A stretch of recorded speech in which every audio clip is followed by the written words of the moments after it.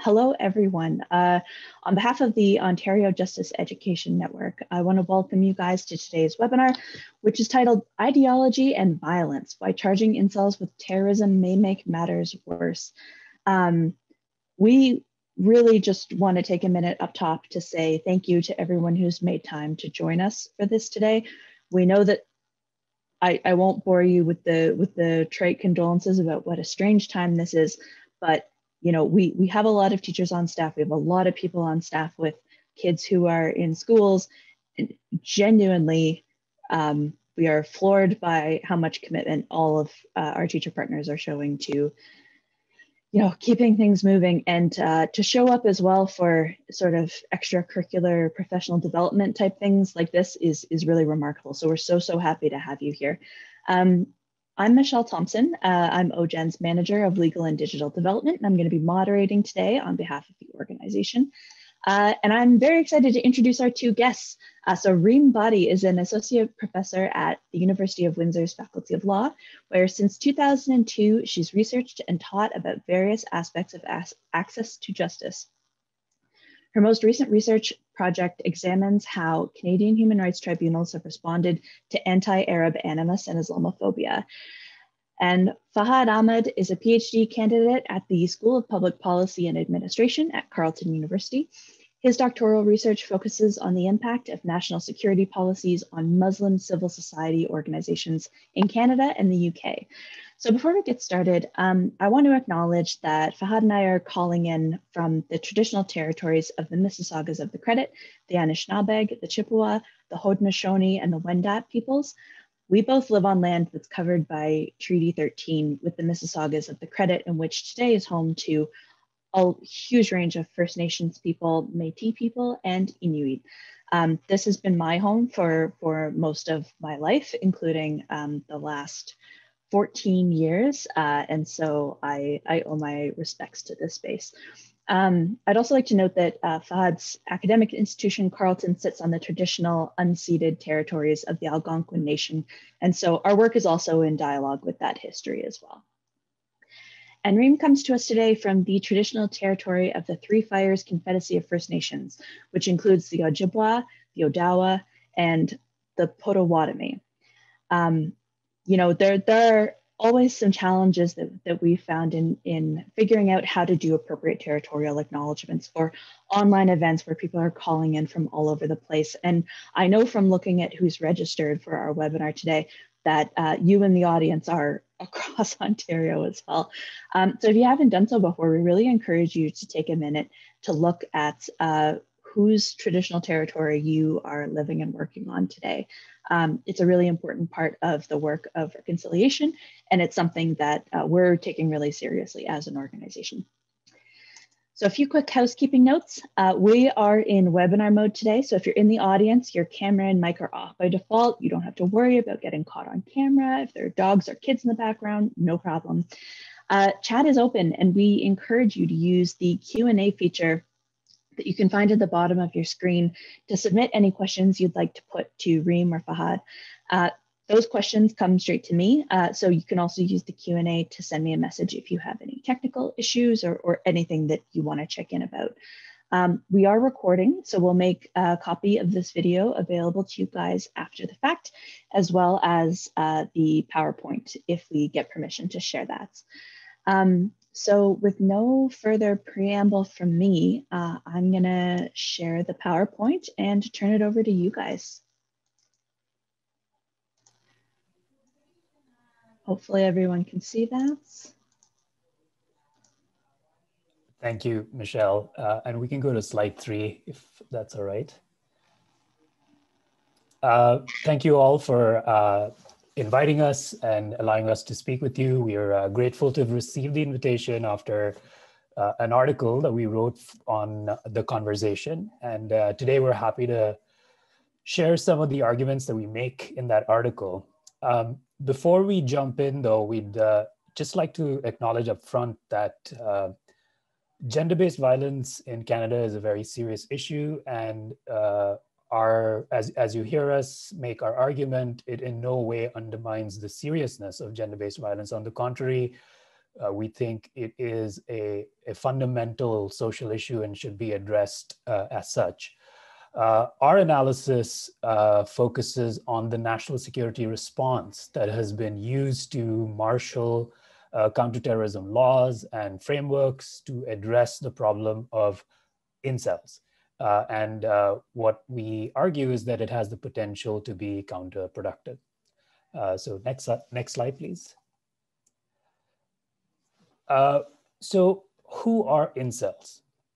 Well, incel stands, uh, it's an abbreviation or kind of a mush together uh, terminology for involuntary celibates. It's a shorthand uh, for people who say they're unable to have sex despite wanting to and trying.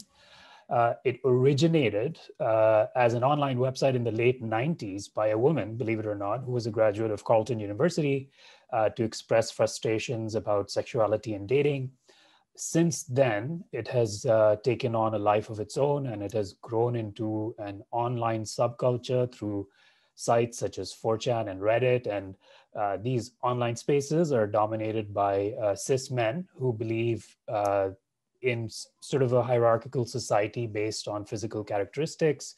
Uh, they hold essentialist and misogynistic views about women whom they blame for their situation uh, or their their position in the hierarchy, which they believe is uh, lower in the hierarchy.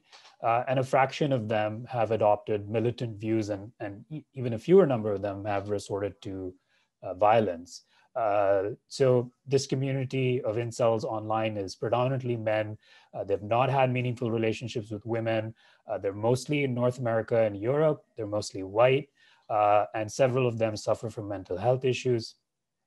Some analysts have linked uh, incel online activity to racist far right activity as well. So there is overlap in those communities. And uh, in a 2019 report uh, released by uh, uh, Canada's intelligence agency, CSIS, uh, they've chosen to classify incel as something they call ideologically motivated violent extremism. why have they done so? Well, it's it's sort of that's because we've faced incidents of incel motivated violence in the last three years. Uh, in 2018, uh, I'm sure uh, all of you are aware, uh, a guy by the name of Alec Minassian drove a truck into pedestrians in uh, Toronto, and he ended up killing 10 people. Uh, in 2019, another man attempted to stab and murder a woman and her child in Sudbury, Ontario. And then uh, last year in 2020, early 2020, a 17 year old youth uh, murdered a woman in a massage parlor and injured another woman. So, uh, what happened? Uh, next slide, please. So, what happened as a result of that uh, uh, that incident in 2020, the stabbing in 2020, is that for the very first time, RCMP upgraded the murder charge against the 17 year old to uh, include a terrorism charge.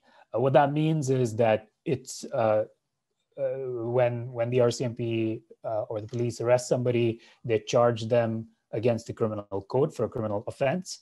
Uh, and there is a section of the code that deals specifically with terrorism it's it's called section 83 or the most of section 83 deals with that anyways. And it was expanded as part of uh, the anti-terrorism act in the aftermath of 9-11 so in uh, 2001 late 2001 uh, canada amended the criminal code and added section or expanded rather section 83 to include terrorism charges which didn't exist before that uh, point in time.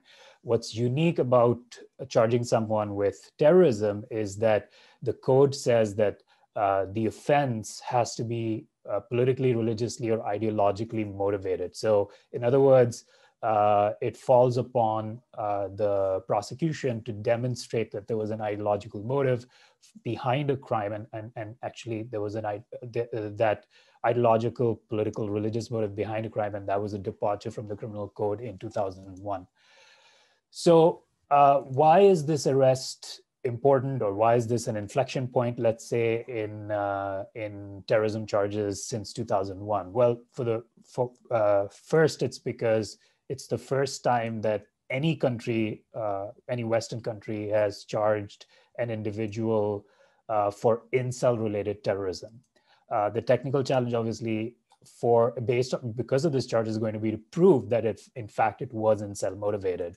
Uh, and uh, the other issue with having uh, the police or having uh, the RCMP uh, make an assessment of an ideological motivation is that a lot of national security scholars think that the correlation between ideology and violence is still poorly understood, that people can be very ideologically motivated and yet not resort to violence. So for so when this Uh, amendment was introduced in the criminal code in 2001, it raised a number of questions about whether it even makes sense to be charging somebody based on ideological motivation and what does that even mean to be if somebody is ideologically motivated how do you assess that? So those sorts of challenges around any terrorism charge let alone an incel terrorism charge have been have been a part of the national security discourse since 2001 uh, the second problem, uh, the, or not problem, but the second thing that makes this charge unique is that there have been 58 terrorism charges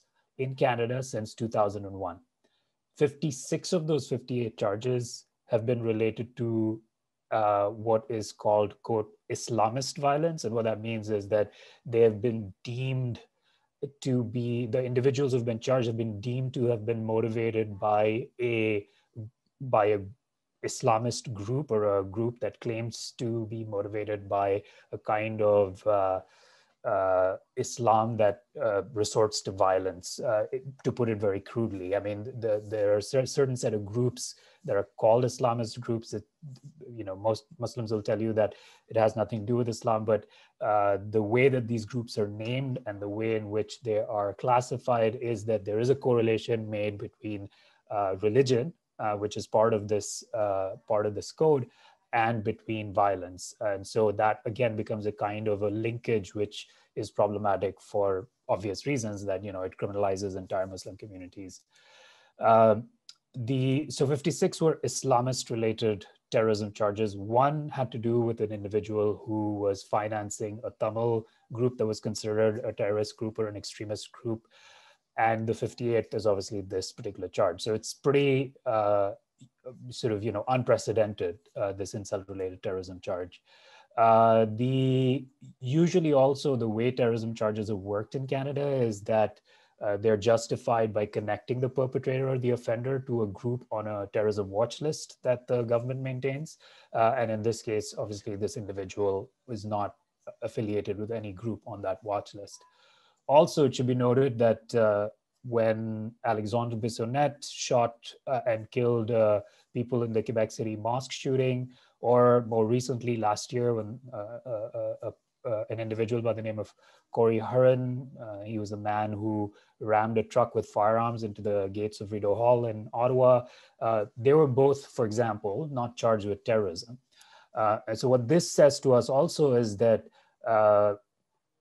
uh, law enforcement themselves, or certainly the RCMP, uh, which takes the lead on terrorism cases, uh, is being selective about whom they charge with terrorism.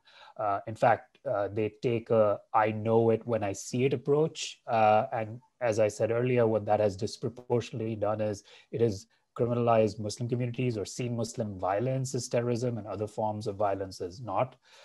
and from a from an academic uh, viewpoint, uh, uh, a sociologist by the name of Lisa Stampnitzky uh, has written this this excellent book, which reminds us that terrorism is actually a social construction uh, that is made by terrorism experts and by policing agencies. And when somebody is charged with terrorism, it's not so much a technical issue, but much more a commentary on the legitimacy and the morality of the violence that they're charged for.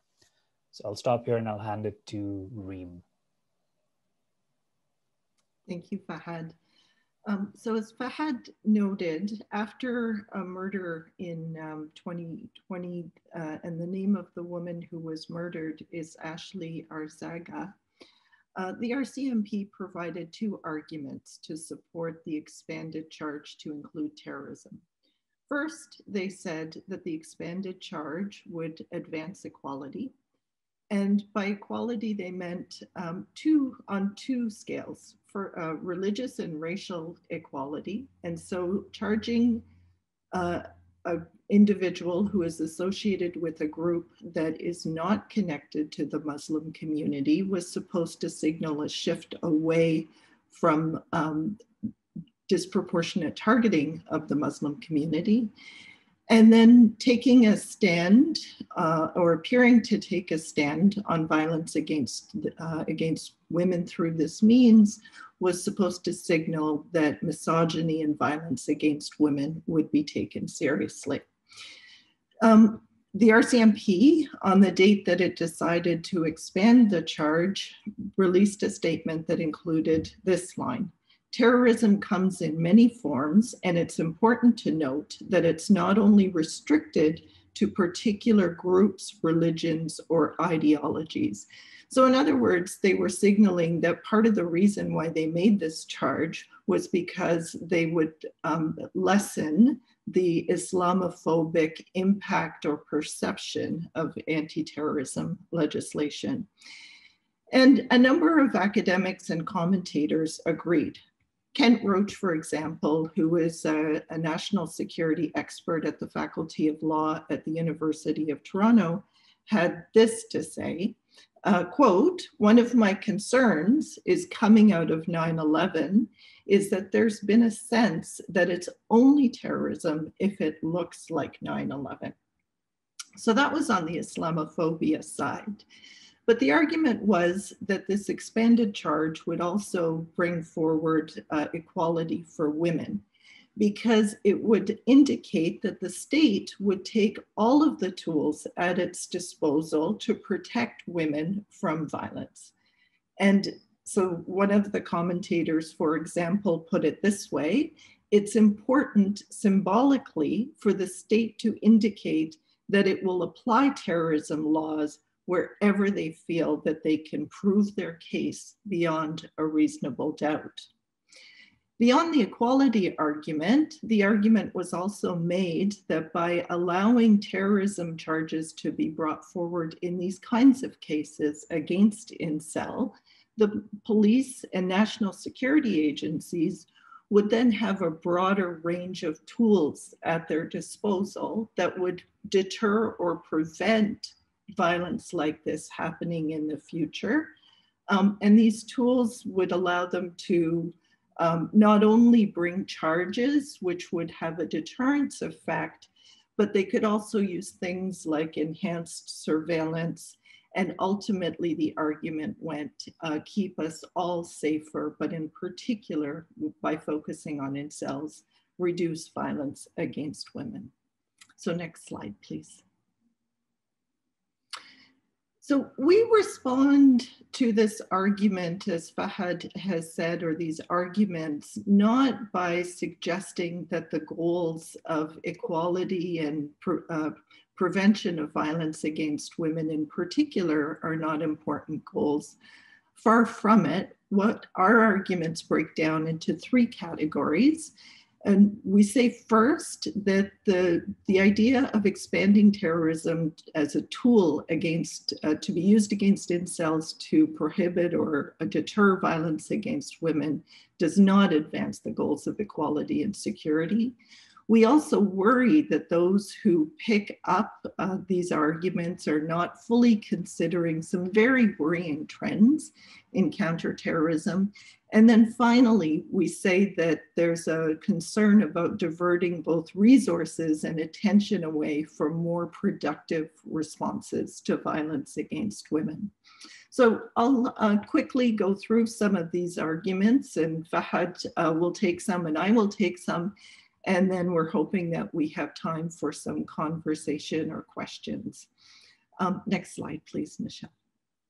So the first um, argument that we make against this expanded application of anti-terrorism laws and strategies is rooted and responds to the idea that uh, expanding the definition actually makes things better for Muslim communities because they will no longer be the um, disproportionate target of anti, uh, anti-terrorism.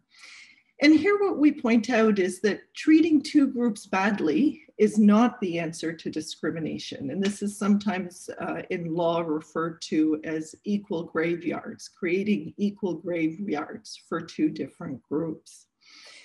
And what we argue is that charging incels only covers up the problem of Islamophobia and it diverts our attention away from some of the questions that we need to really ask if we are interested in reducing Islamophobia in society. And these are questions like why is there Islamophobia? How do um, how does civil society respond to the problems of Islamophobia? Where does Islamophobia exist? To what extent is it actually manifest in the institutions that we are empowering to, uh, to fight uh, Islamophobia? So our point here is that basically this kind of an equality argument that's directed at uh, the conclusion that uh, expanding the definition of anti-terrorism reduces Islamophobia is really just an illusion. It only just creates an illusion of equality. Um, next slide, please, Michelle.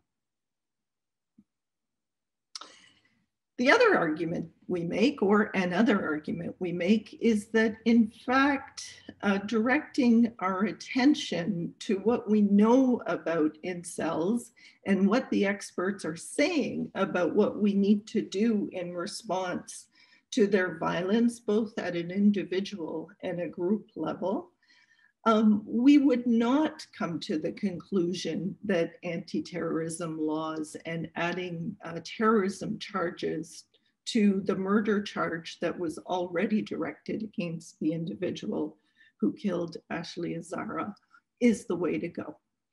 So would we look at some of the available literature, the points that are made is that these individuals need help and they need social connections and that confrontational responses, and we categorize anti-terrorism labeling or as a confrontational response, only um, fortifies the group's belief system or the, the belief that they are actually victims of society and social relations.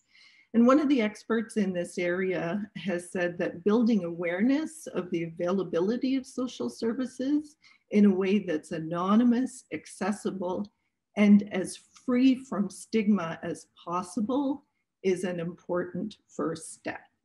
So of course, labeling incels as terrorists stigmatizes them and isolates them further, which is exactly the opposite of what um, the experts tell us we need to do. Next slide, please, and I'll turn it back to Fahad. Thanks, Reem. Uh, so the other uh, concern that we have with uh, with allowing our, the RCMP and CSIS, uh, which are the kind of the two main institutions that uh, lead terrorism investigation on the enforcement side of things uh, and investigation side of things, is that uh, the well just to back up a little bit so the rcmp is the federal police. It uh, has a federal mandate uh, and uh, many small communities across canada contract out policing to the rcmp but the rcmp also has the responsibility uh, for national security. And so pretty much any national security investigation the rcmp is involved. The other agency CSIS, which is Canada's intelligence agency, uh, its job, uh, well, at least until recently, was intelligence gathering. Uh, they were supposed to only collect and anal analyze data. And if uh, a case became serious enough, they were supposed to hand it over to the RCMP, which does the enforcement. Uh, so there's been a recent change in that ability. There have been some bills passed in the last five years that have given RCMP a little bit, uh, uh, sorry, given CSIS a little bit more responsibility than just doing investigations. Uh, and that has raised some concerns about uh, accountability and oversight, which you'll talk about in a second. But uh, coming back to the role of CSIS and RCMP in carrying out national security investigations, it's been pretty bad. Essentially, what they've done is uh, they have done what we they've cast a wide net in terms of policing, uh, and as uh, as uh, uh, Reem just mentioned Kent Roach's article. Basically, the view has been that if it looks like something done by uh, Muslim perpetrators and looks like something that was like done uh, kind of like 9/11, that that is these these perpetrators has had some connection with an Islamist group, then we, you know basically this is a terrorism charge. They they ended up as a result of that criminalizing entire Canadian Muslim communities. So uh, Canadian Muslim communities have been under surveillance since 2001. Uh, they get unsolicited visitations by the RCMP and CSIS at their homes and workplaces until today. Uh, more, perhaps more egregiously, uh, the RCMP has violated fundamental charter rights by resorting to detention and torture or, or certainly outsourcing that in the case of uh, the prominent case of Maher Arar, for example. Uh, they've also relied on questionable techniques like entrapment and uh, sort of, you know, relying on uh, secret spies and things of that sort. Uh, also, these are the same institutions that are that have once upon a time uh, carried out surveillance of individuals and groups, including feminists uh, including, and they still continue the surveillance and monitoring of indigenous protesters, anti-pipeline protesters. Uh, once upon a time, uh, entire LGBTQ communities were under surveillance and investigation by the RCMP. Uh, anti-capitalist activists are still looked upon uh, as a threat to the peace and order of Canada. And so these, these things make us ask some questions about the seriousness of these institutions to really tackling uh, gender-based violence. And of course, we know that within these institutions, the culture is rife with misogyny and bullying and racism. Uh, we know very little about CSIS. All we know is based on cases that CSIS employees have filed against CSIS. And as a result of what we learn uh, from the court hearings is what we know about CSIS. Uh, but with the RCMP, I, I mean, you know, they've been I, I, encourage you to just Google RCMP problems, and there's a Wikipedia entry with essentially like you know you could spend a week going over it, uh, and several of those issues have to do with sexual harassment within the RCMP. Uh, next slide, please. Uh, so the other issue with these institutions is the accountability. So uh, you know, typically uh, CSIS has operated uh, with uh, almost no oversight. This technically there is an oversight agency, but it's very weak. It has no ability to enforce anything. It can only make recommendation or advice things to the government. There've been some changes in the regard in that regard uh, in terms of establishing a, a, larger oversight agency that will now um, oversee what happens at uh, the RCMP, CSIS, uh, there's a portion of CSIS that does sort of the, the technology and intelligence gathering, CSE, that agency, and uh, CBSA, which is our border agency. Uh, so despite those developments, I think just in terms of the resourcing of the oversight agency and the uh, mandate given to that uh, oversight agency, it's unclear that this will necessarily allow us to see changes in the way that these institutions work.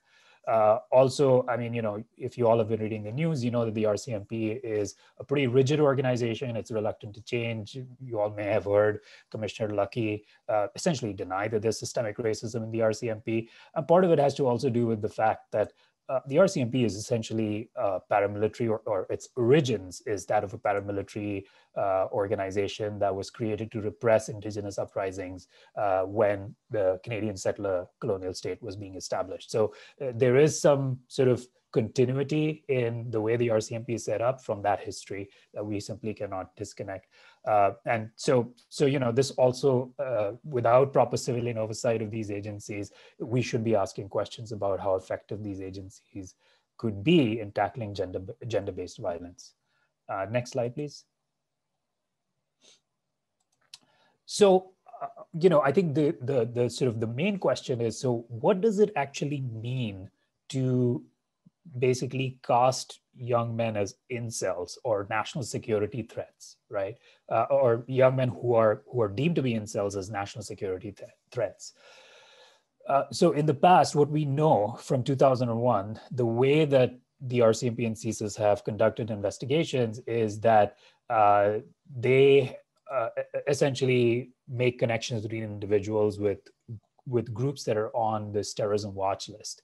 Uh, and so it's been easy in the past because they've been able to identify Muslims and Arabs based on race, ethnicity, based on national connection that was transnational. It's obviously once you start saying that, well, incels who are essentially white men who are uh, also uh, national security threats, it's unclear what, what series of steps uh, that might propel. What we think will happen is that, or could happen rather, it's not clear that it will happen, but what, what we think could happen is that there's a whole preventative counterterrorism apparatus set up that allows uh, the RCMP to, for example, freeze people's assets or use a type of restraining order called the terrorism peace bond, where if they can't demonstrate uh, or reach the criminal threshold of charging somebody, they can meet a much lower threshold and go to a judge and obtain a restraining order to restrict somebody from moving about or accessing the internet, things of that sort. Uh, we also think that the CSIS could potentially use its disruptive powers, which means that it can do things that violate charter rights, or it can use uh, entrapment, it can use uh, illegal, torture, illegal torture legitimately. So these are all things that have been allowed as part of the recent changes to the Anti-Terrorism Act potentially this could happen. Potentially it could increase increase online surveillance because we know that incels are primarily an online uh, community. So uh, it could intensify surveillance and online activity. And finally, there's a whole uh, sort of uh, uh, tool of activities called countering violent extremism, which essentially has seen national security agencies try and use, uh, or rather uh, animate uh, security actions in the social and cultural sphere of society. So, working with civil society organizations or nonprofit organizations and having them, training them, for example, to identify violent extremists uh, and, and, and essentially point them out uh, for the RCMP and CSIS. Uh, so, expanding surveillance agents, if you will. But uh, the concerns with countering violent extremism type programs is that uh, they end up pathologizing individual behavior. So, you know, you're looking for that particular person who will become a radical, quote unquote, a radical or a violent extremist. Uh, but but it, it does nothing to look at the structural issues that might lead to those sorts of uh, those sorts of behaviors in the first place. I'm gonna hand back to you, Reem. Thank you. Next slide, please.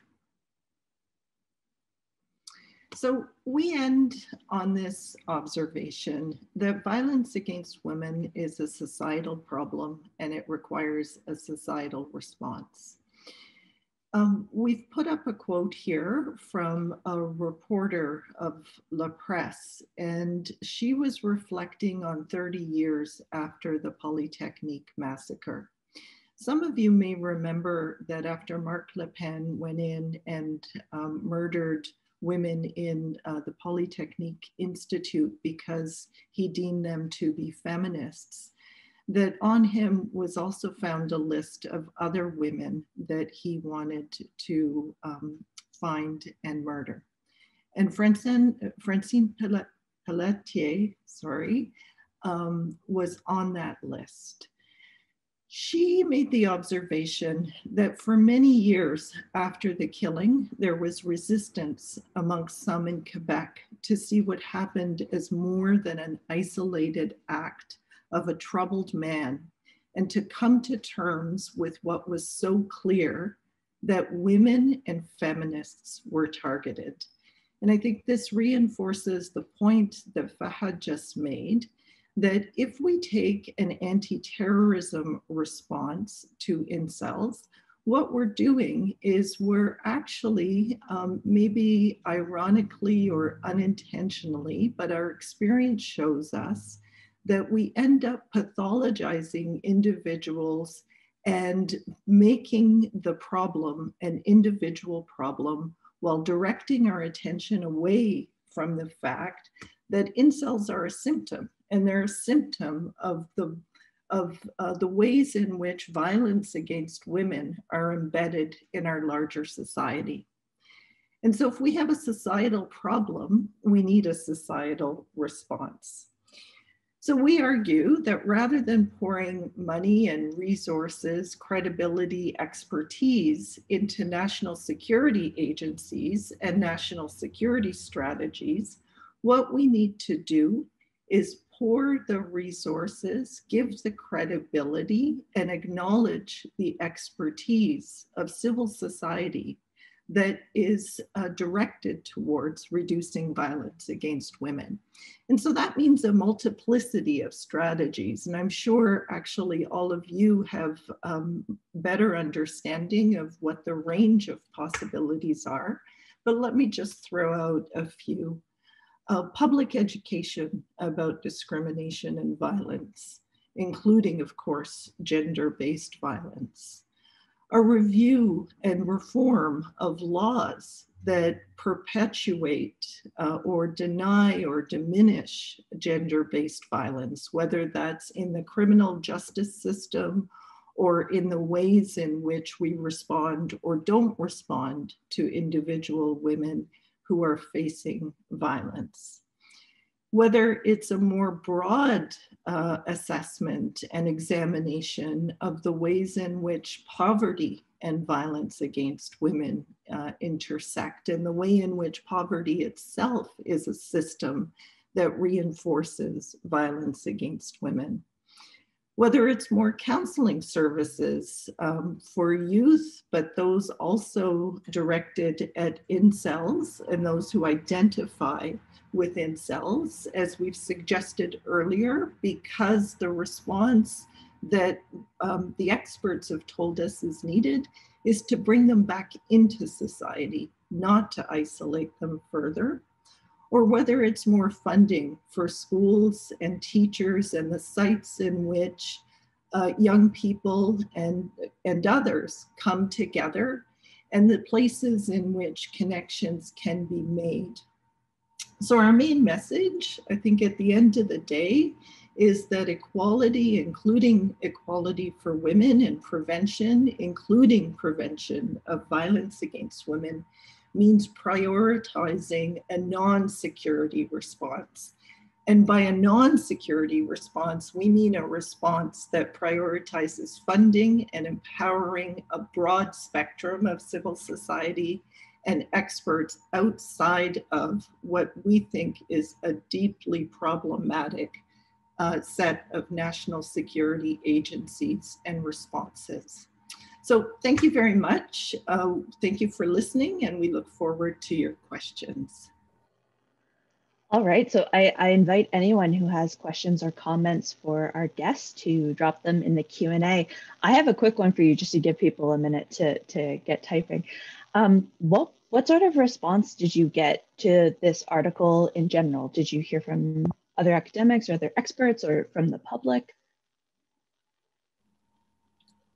Um, Fahad, I, I don't know what response you got. I didn't actually get anything directly. I had a few students who wrote to me and who said, but what about the problem of violence against women? And so it was actually that response, that, that question that um, made us realize that when we speak about this topic, we need to put up front that we are not in any way dismissing that problem, that our main point is that these are strategies that are ultimately not going to help uh, in alleviating violence against women. Um, I think that there that uh, there were some folks who were associated with CSIS who didn't like our article, uh, but not necessarily because of the particular arguments that we were making, um, but specifically about the arguments that might have been related to institutional trustworthiness and the lack of the accountability structures, and pointing out how history suggests to us that this is these are not institutions symbolically or otherwise who we would want to entrust with this very important task. do you have any, did you get anything that I'm not aware of? Uh, no, the, the only thing I think you know this, Reem, but we got maybe a comment uh, for our article. So the conversation allows you to make comments. Uh, and, and I guess one, the question like one of the things we took issue with was the expansion of uh, national security agencies operating before charging somebody with a charge or essentially before the investigation reaches the threshold where it starts uh, they start building a case for a criminal charge so like way before that um, which is called preemption in sort of the the academic terminology around uh, uh, terrorism cases and there's a lot of interest in preemptively acting so acting today so that you might prevent a future event of terrorism uh, and the problem that we lay out with that is uh, the future is essentially an unknown.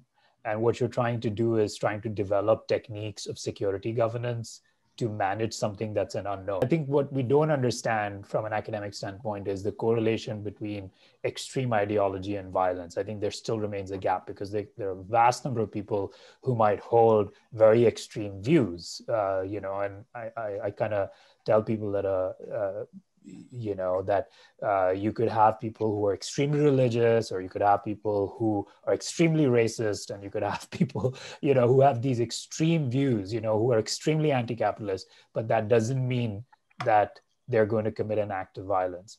And i think until we understand that for us to be governing a future occurrence of an act of violence is essentially making up uh, the solutions to a problem that we don't even know how it fully manifests. Uh, and so we had an exchange around that to one comment as to the person was asking, well, what's wrong with acting preemptively? Um, so yeah, I think that I do think it genuinely to, you know, to kind of be as, as fair to those people as, as possible. I, I do emotionally understand why it's frustrating when we hear cases like, um, that which this is repeated over and over again in the media that this person finally did their big act of domestic violence or um, you know things that without attaching the big capital T terrorism label to certainly has an ideological component it is very violent.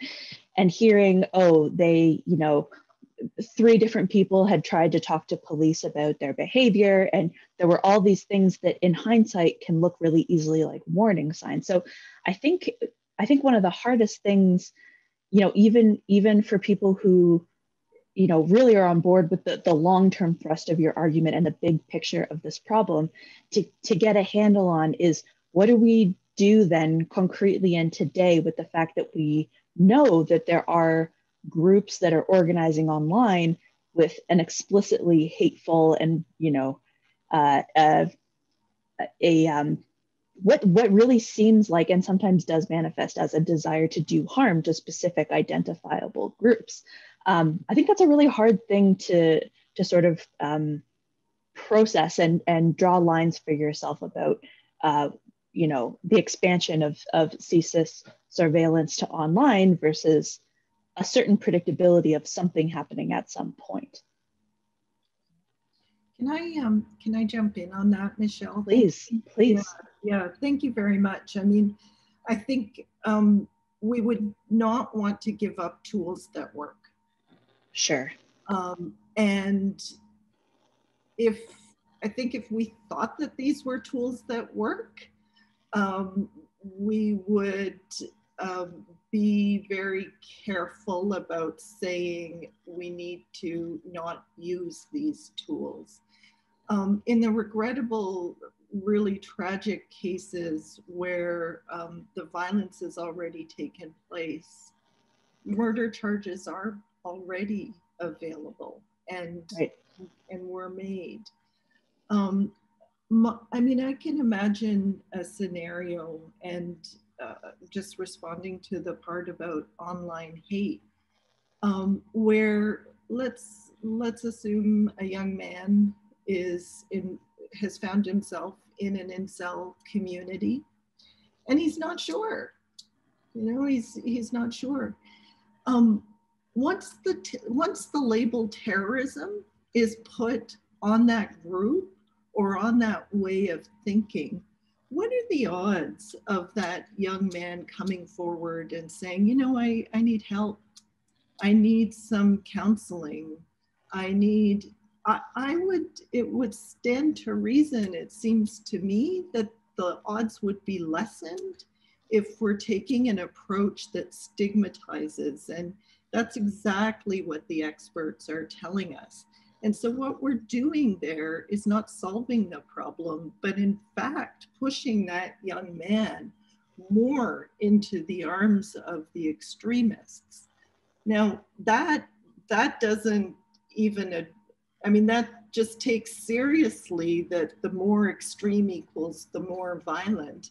And as Fahad has already pointed out, that's actually not the case right. from from what we know. I mean even if we go back and take a look at um, alexander bissonnette i mean he said some pretty horrible things. This is the guy who um, was responsible for the mosque massacre. He said some horrible things online. There's no question of that but was he the most extreme online no no he was not and i think that just shows uh, or helps to illustrate uh, as a case study Fahad's point that extremism and violent action don't necessarily go together. So, um, sure. You know, it's not what you're looking, what, what you would look for if that's not the case. Right. And, and I do take your point for sure that um, where we want very fine distinctions to be made, there's not a whole lot of reason to think that the RCMP or CSIS necessarily will be, you know, the ones to exercise all, all due uh, subtlety and consideration there. Um, so uh, we've had a question come in that I want to put to you, uh, which is that um, do your arguments mean that you think there are very few or no circumstances where a terrorism charge is appropriate? um, or necessary. I'm curious also about uh, what you think um, the terrorism charge is meant to accomplish that a, a, murder charge or another alternate kind of charge doesn't do. So is that is that question uh, specifically in relation to incel or terrorism charges more broadly, like the concept of terrorism? I think this question is uh, like, would you take the position that there are essentially no circumstances in general, writ large, where terrorism makes sense as a charge? Um, Fahad, uh, I'll, uh, I'll let you jump in. I have something to say, but I took the last one, so I'll let you jump in and then I'll add my two cents. Uh, yeah, sure, certainly.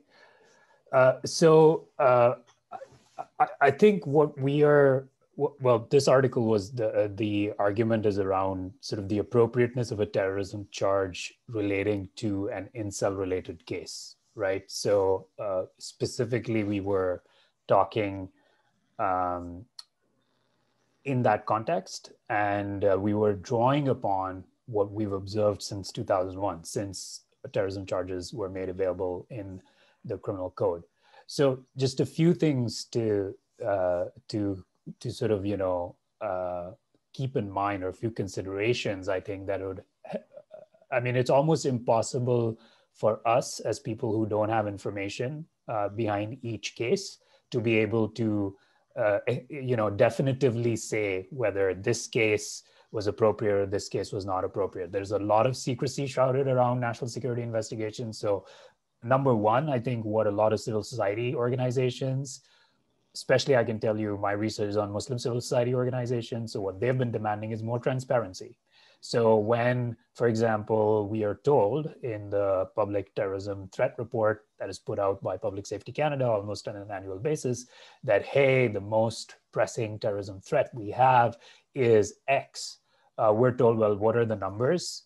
Uh, you know, how is, does this threat compare, for example, uh, so a long-standing argument uh, that the Muslim community has been making is how does this threat stand in comparison, for example, to far-right extremism? Because there is a lot of research done on far-right extremism that suggests that there are, in back in 2015, Barb Perry, who's a, a criminologist in uh, Oshawa, uh, wrote about how there are at least 100 armed right-wing groups in Canada.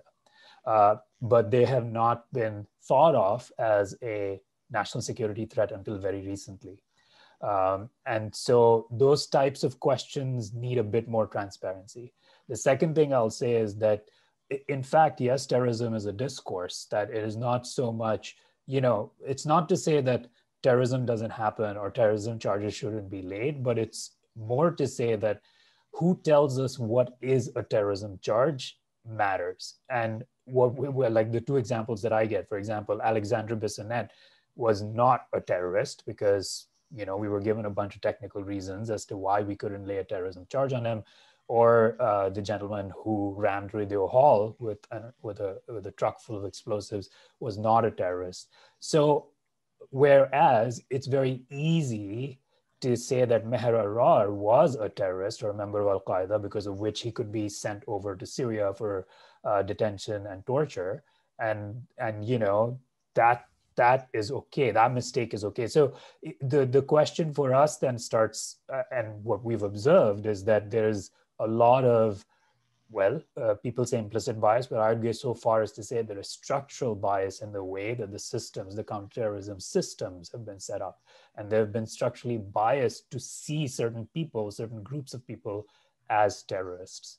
Uh, and that, I think, is something we should, uh, we should take issue with. Uh, so I'll just stop there, I think, and, and back to you, Reem. Yeah, if um, so, I'm what I wanted to add here is that what's significant is that after September 11th, we changed our approach to terrorism, and that's where I think we we went wrong. So, like Fahad, it's not that I think that there is no such thing as terrorism or a terrorist act. But before September 11th, what we did was we focused on the act. So, for example, we defined a bombing of a public building or a railway as a terrorist act. We didn't focus on communities. Mm-hmm. After September 11th, we went from what was called a functional approach to a stipulative approach, where we stipulated that certain communities were higher risk. And that's where I think we went wrong. And we went wrong for a number of reasons. Is one, we stigmatized those communities. But then once we directed our attention to them, we actually then missed other forms of violence. And we start playing catch up then, like, oh, we better go after this community now. So white supremacists, as Fahad has said, um, didn't receive the attention because they weren't stipulated to be part of the problem, even though in reality, they are part of the problem. So um, I think that would be my answer is that we need to go back to an approach that focuses on the conduct rather than suggests that certain communities are particularly um, at, at risk. And the risk there is that we miss some of the really uh, problematic conduct. Right. You know what you're what you've been talking about in terms of the stipulative approach, which I that the dis, that distinction in that language really I think helps helps clarify something about the difference between those approaches. So I appreciate that history. Um, this makes me think of the the thing that happened, I believe, in the House of Commons a couple weeks ago, where a huge long list of groups, including the Proud Boys and I think some others, um, were just pronounced to be I forget if they were designated as hate groups or, or something something else. Um, and uh, it's interesting to think about that action uh, in light of the possibility that that opens up a whole bunch of other terrain for potential surveillance actions and police and all the, the kinds of things that that you're talking about here um, and that did catch a, a large range of um, white supremacist groups and and uh, far right organizers. Um, do you what what do you make of of that that action by the government? do you want to go ahead and then I'll jump in again? Sure, thanks, Reem. Uh, so yeah, so what happened? Uh, I want to say yes, maybe certainly in January, it was after the January 6th right. uh, sort of storming of the Capitol in the United States, that Proud Boys and three other far right groups were listed as terrorist groups. So this is on the terrorism watch list. They went on the terrorism watch list. Uh, this was in addition to two groups uh, that were put on the watch list in uh, 2019, mid 2019, I want to say. Uh, so now there are six far right groups since mid 2019 on the terrorism watch list, uh, which has a total of 75 or so groups, just so you know. Like, I mean, it's the, the terrorism watch list in 2001 had something in the neighborhood of 30 ish groups, and today has 75 ish groups. I should also note that in addition to adding the four far right groups, there were uh, like, I don't know, like nine or so Islamist groups that were also added to the terrorism watch list. So the terrorism watch list is predominantly Islamist groups. Now, some of these are, I mean, you know, we don't have to get into sort of the discussion of whether these groups are legitimately placed on that list or not. But the discussion we can get into is how they're placed into that list. Uh, and that is somewhat uh, uh, sort of um, based on intelligence information that we are not privy to. It's not a democratic process. And once you're on the watch list, it's near impossible to get off that watch list. That watch list has only been growing, which again, the question for us raises these concerns about like what's the process what's the democratic process for us to engage in that uh, the second thing to say is that with placing Proud Boys on that list, uh, all of the arguments we made about the incel stuff, like using the preemptive techniques, using countering violent extremism programs, all of that would now apply to far right groups as well. And in fact, are being applied to those groups already, uh, albeit, to a much, much smaller extent than they're, they're being applied to uh, people who are suspected of being part of an Islamist group. That's still very much the central focus of uh, RCMP national security investigations. But with all of this, I think it comes back to the last point that we made, which is like, how do we want to address these problems, uh, especially the kind of problems that we think lead people into violence uh, eventually, right? Like, do we want a security, you know, a, a, a sort of a a carceral response, or do we want to take a societal uh, response and a long-term view of how to really address these issues within the different systems and within the fabric of our society? Uh, and I think, you know, at least, you know, my view very much aligns with sort of the view of the uh, of the protesters who've been calling to defund the police, which is essentially a, an idea that says that hey, we should be investing more in education, uh, in social support and counseling and sort of non-policing, non-security functions of the state rather than policing and security functions of the state. And it's more about kind of how do we think these types of problems, violence, offense will get solved in society, uh, you know, altogether. Yeah, I don't have a lot more to add. I think Fahad has covered what I wanted uh, or would have um, said. Um, I think it's a it's a this is a really hard one because people that who both Fahad and I, if I can speak for you, Fahad, uh, really admire.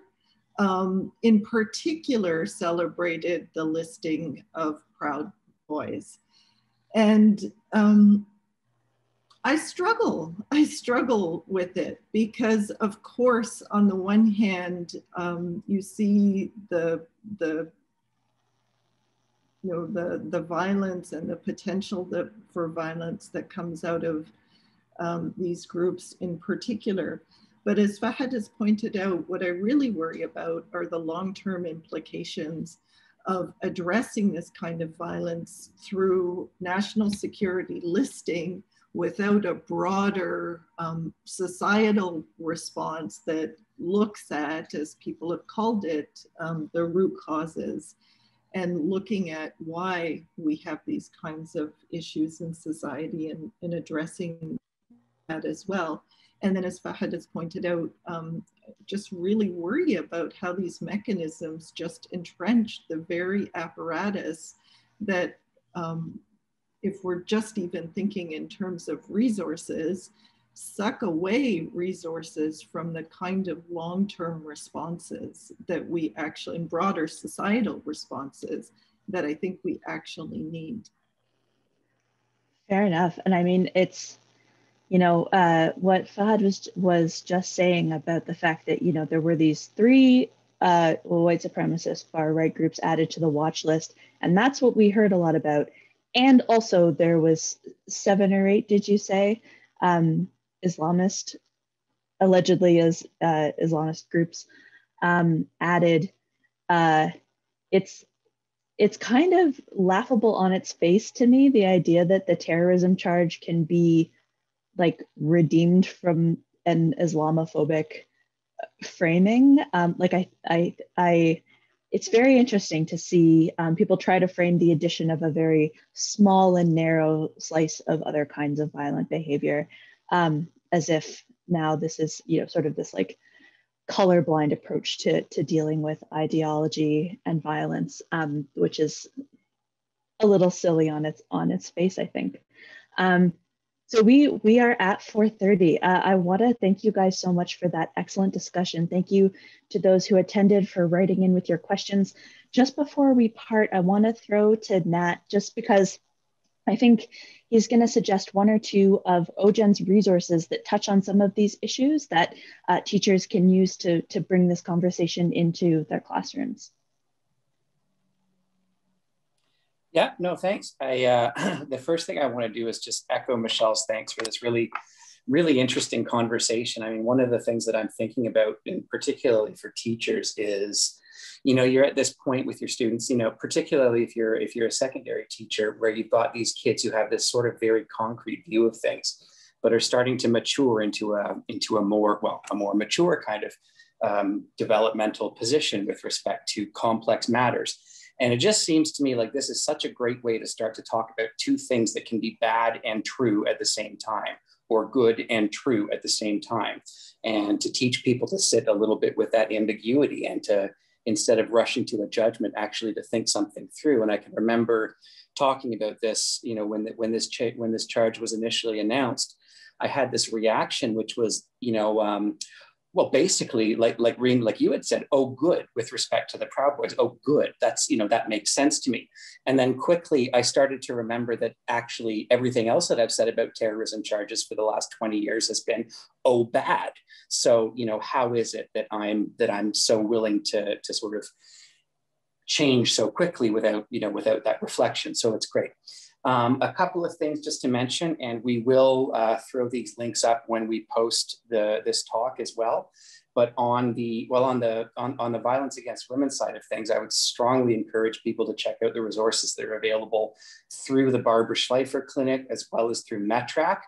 Um, we have a, a great new talk that we put up in the summertime on, uh, on a curriculum around the murdered and missing women, uh, murdered and missing uh, Indigenous women and girls. So we can put that up as well. It's very interesting to start to talk about the state and violence towards women as opposed to the state and violence against women.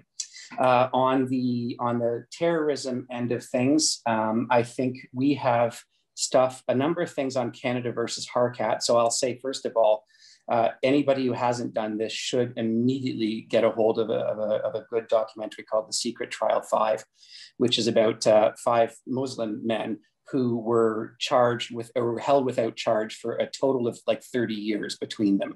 Um, and uh, it's about the use of a, of a really bizarre instrument um, called a security certificate, which was used in order to detain people without a charge.